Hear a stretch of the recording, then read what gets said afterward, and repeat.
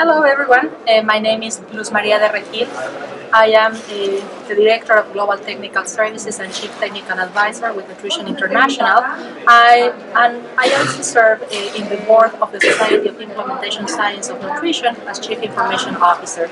Uh, today we are in Argentina in International Conference of Nutrition where we had a, a, great panel on implementation research and today we have a great guest. So can you introduce yourself please? Sure Liz.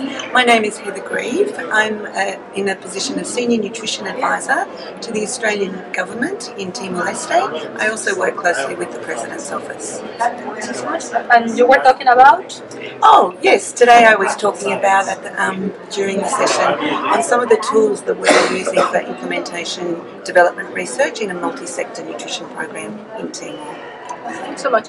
So I think it was a great presentation. So could you share uh, with us key issues that um, are necessary to improve the multi-sectoral collaboration. We frequently hear that that is difficult to uh, achieve, and I'm sure that it is, but I'm sure that there is hope and we can learn from your experience. I am sure there's hope, but I do agree. I think this is a very complex area.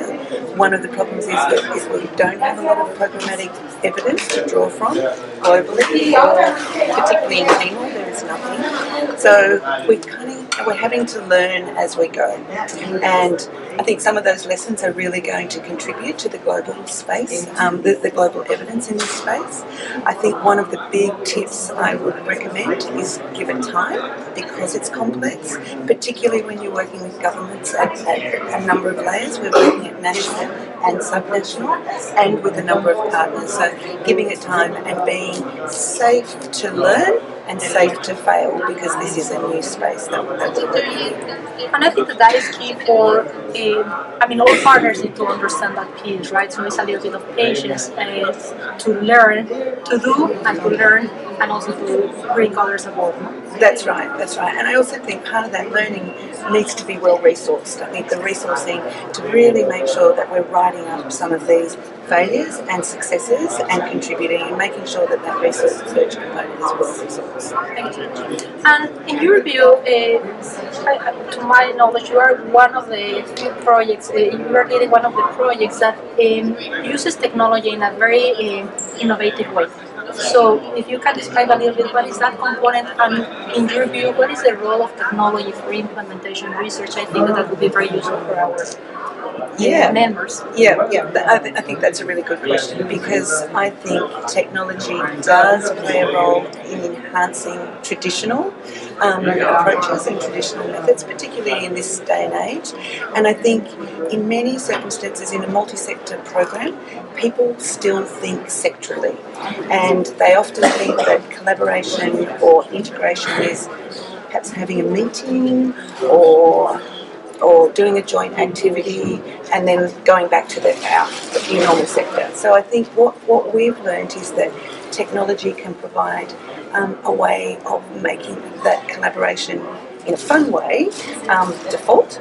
Um, and allowing partners to share information and share experiences through a, a, mobile platform.